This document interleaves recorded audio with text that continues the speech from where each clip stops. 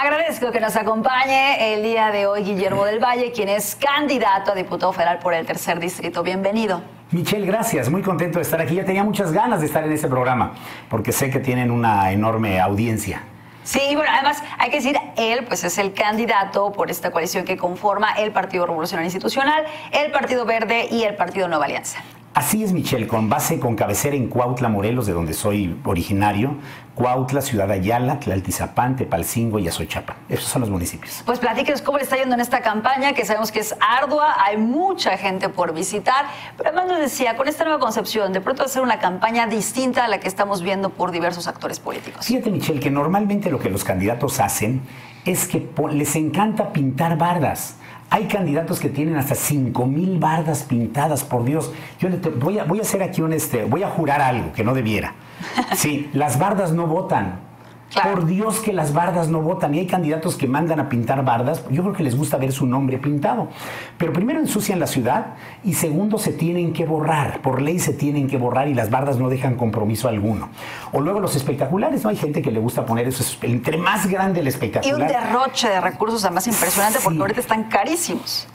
Fíjate, Michelle, que este, hay, espectaculares que cuestan hasta 50 mil pesos para esta campaña y hay gente, Michelle, sobre todo en esas zonas rurales, hay gente que no, en un año no se gana 50 mil pesos. Y entonces que un candidato ponga tres o cuatro espectaculares de 50 mil pesos más que alentar el voto, ofenden a una sociedad que tiene, que, tiene, que tiene una sensación justa de insatisfacción. ¿Qué estoy haciendo yo, Michelle? Yo no pongo bardas, no pongo espectaculares.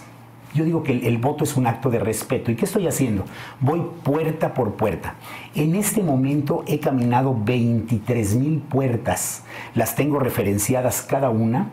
Y lo digo así porque en cada una de las 23 mil puertas, que son casi, cuatro, casi 470 kilómetros, lo tengo medido por teléfono celular, 470 kilómetros que he caminado, en donde voy puerta por puerta, toco la puerta yo con humildad. Soy Guillermo del Valle.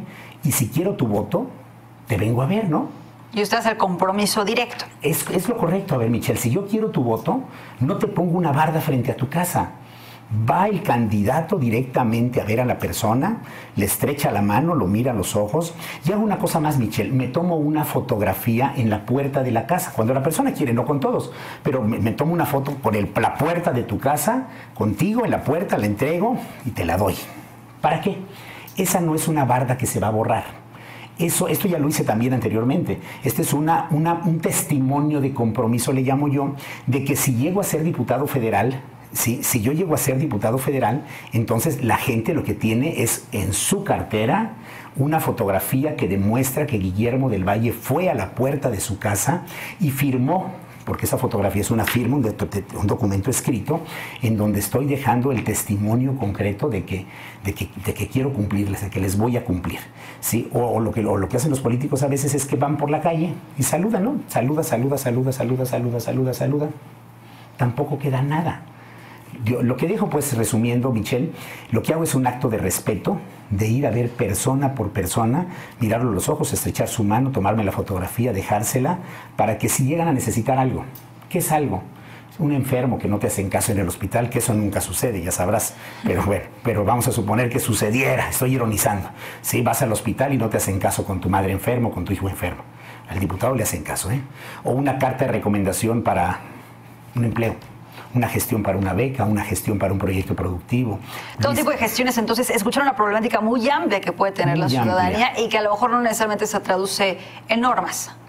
Como sería el primer quehacer, digamos, del diputado. Eh, fíjate que efectivamente, o sea, desde luego la función principal del legislador es ir a hacer leyes que se cumplan.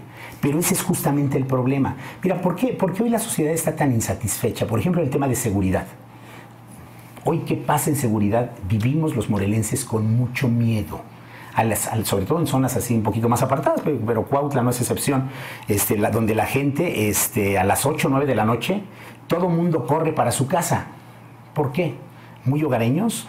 Pues sí, también, pero hoy hemos sido hogareños a fuerza de miedo, porque tristemente hay una terrible impunidad en donde la gente puede delinquir, te asaltan.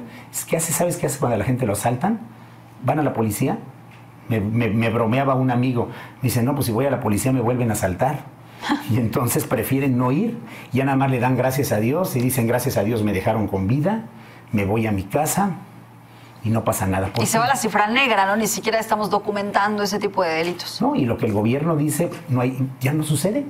Los índices de inseguridad han bajado. Aquí están las denuncias, las demás, las denuncias por asalto, por robo, por extorsión. La gente no denuncia y el gobierno lo que dice es ya no hay delito. No, lo que no haya es confianza y lo que no hay es denuncia, porque la gente está bien consciente que no va a pasar nada con su denuncia y que corren el riesgo de volver a ser asaltados. Hay muchas propuestas, amiga.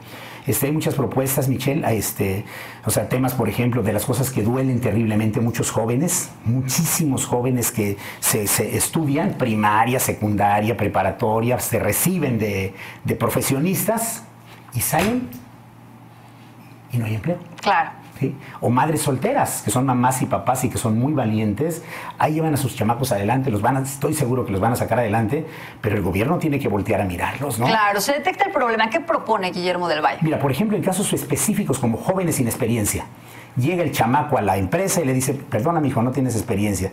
¿Y cómo carambas va a tener experiencia un chamaco si no le dan oportunidad? Que el gobierno de la República pueda dar incentivos fiscales a las empresas para que te puedan a ti que eres chavo este, dar empleo con tu salario normal, el que mereces, el que acredite la empresa, el que acuerden pues, pero que la empresa pueda deducir una pequeña parte de sus impuestos, mientras el chamaco, unos dos años digo yo, dos años el chamaco agarra experiencia, o la madre soltera, ¿sí? Ese tipo de cosas. O la otra cosa, a ver, tú eres mexicana, tienes derechos, pagas impuestos, tienes derechos, sale. Uno de tus derechos es el derecho al empleo. Si buscas y buscas y buscas y no encuentras un empleo, si el gobierno no te garantiza un empleo, ¿qué te garantiza un ingreso? Claro. Es lo justo. No hay por qué asustarse de ese tema. En cuanto del gobierno. están entonces impulsando esto ya. Un seguro de desempleo. Definitivamente un seguro de desempleo que se tiene que empujar. O nuestros hermanos campesinos, estimada amiga, nuestros hermanos campesinos, por ejemplo, que traen sus camionetitas viejitas, no porque les guste su camionetita viejita, porque no tienen para comprar una camioneta mejor, llegan a Cuernavaca, llegan a Cuautla y lo primero que se encuentran es el de tránsito, ¿no? Eh, eh, eh, párese. Y cáigase con una lana.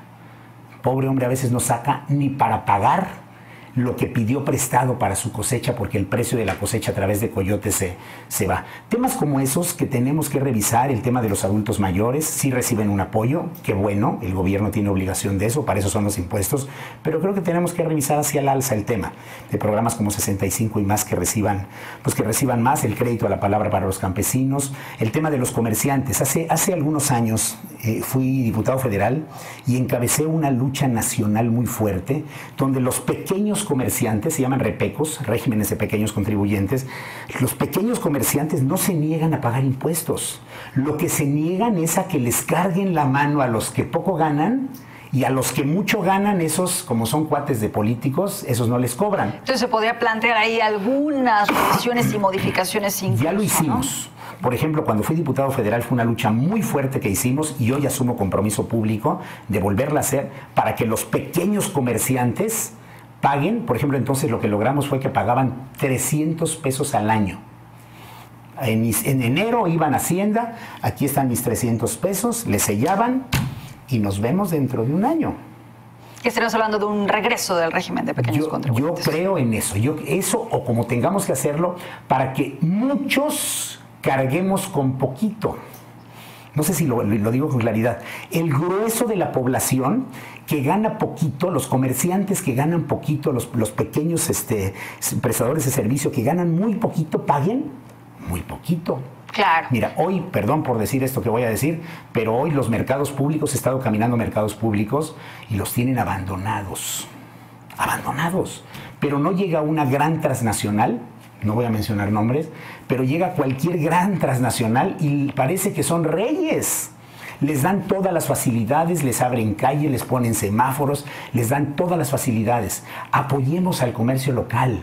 El dinero que se consume con los comerciantes locales da vuelta aquí.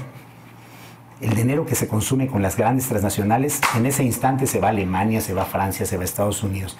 Necesitamos generar un microdesarrollo partiendo del respeto, el respaldo a la gente, a los que son Martínez, López, Pérez, Sánchez, este, en lugar de los que son con apellidos alemanes y franceses, ¿no? Muy bien, pues muchas gracias por habernos acompañado. Muchísimas gracias. Pedirle a la gente que, que reflexione su voto, que nos juzguen a todos, ¿eh? Es importante que nos juzguen a todos, que nos vean a cada uno, no que tan bonito hablamos, sino que los hechos hablen, tu historia, la congruencia, la honorabilidad que pueda ser, más allá de los colores incluso, ¿eh? Porque no es un tema de colores. Yo estoy convencido que la gente, hay gente buena y gente mala en todos los partidos políticos. Que vayan por la gente buena. Muy bien, pues estaremos pendientes de la elección. Gracias. Ah, Muchas gracias a ti y a ustedes. Guillermo del Valle, quien es candidato a la Diputación Federal por el tercer distrito en esta coalición que está conformada por el PRI, por el Partido Nueva Alianza y por el Partido Verde Ecologista.